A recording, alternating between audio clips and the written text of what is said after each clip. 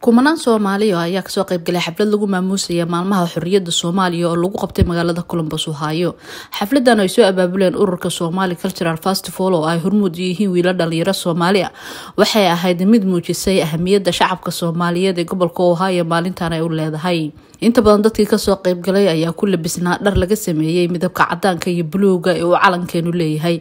Waxay si farxadi ku jirto hore ugu soo wateen caruurtooda iyo saaxiibadooda ajanabiga ah si ay wax uga bartaan taariikhda soomaaliya gaar ahaana maalmaha xoriyadda qaar kamida siyaasiyiinta gobolka oo isugu jira soomaali iyo ajanabi ayaa ka hadlay xafladan kuwaas oo dadka codkooda weydiisanayay iyadoo lagu jiro xili tartan iyo weliba doorashooyin kala gedisan ay ka socdaan gudaha mareykanka muniira cabdulaahi oo u tartamaysay xaafada sagaalaad ee colombos ayaa ka mid ahay dadkii shalayto sida weyn ugu farxay inay indhahooda ku arkaan tiro soomaali oo intaa la-eg inay soo hor istaagaan codkoodana ay weydiistaan. Aqoon-yahan waxgarad taariikh yaqaano iyo weliba dadka gacanta ka geystay xafladan ayaa dhammaantood bogaadiya howsha la qabtay.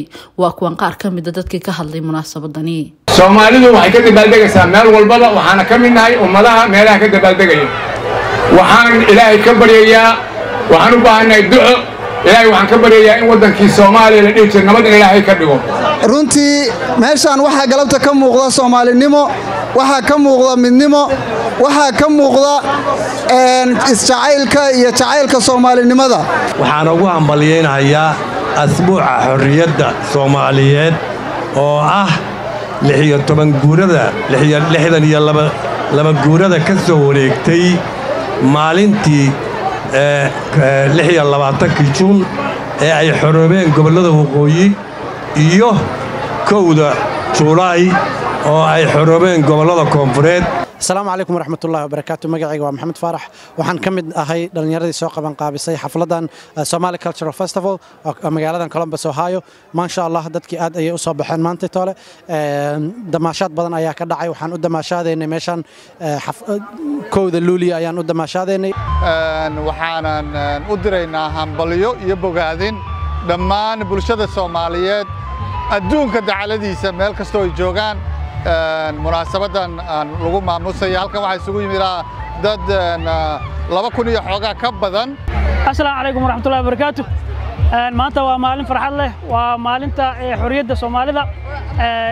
Kowda luulyo ayaan u dabaaldegaynaa haddaan nahay reer colombos ohaayo jaaliyadda colombos ohaayo soomaalida ku nool waa dabaaldegaynaa waxaa farxad weyn ii ah inaan maanta ka qayb galo munaasabadda midnimadii labada gobol waqooyi iyo koonfur. Maalintaas oo ah maalintii labada gobol oo soomaaliya oo midna ingiriiska uu gumaysanahayey midna talyaanigu ay midoobeen. Si fiican bay nagu dhacday hawsha si wanaagsan bay u dhacday ilmihii dadka dhan way yimaadeen iyagoo dharkii baluuga qaba. Marka waxaan leeyahay oo waxaan rajaynayaa insha allah sanadka dambe iyo sanadyaasha ka sii dambeeya inay sii noqoto nabad iyo nolol wanaagsan. Maalintay xurnimmada qaateen iyo astaantooda qaran waxay tahay inay bartaan weye waa astaanta astaan qaran weeye marka maamaa waxaa jirta dhahda qofkaanan waxba u taaganay wax walba u jilcaa waxaan ugu hambalyaynayaa dhammaan bulshaweynta ku nool ohaayo iyo soomaalida dhammaan dunida dacalladeeda waxaan leennahay midnimo wanaagsan. Waxaan leeyahay soomaaliya ha midoodu ha israacdo.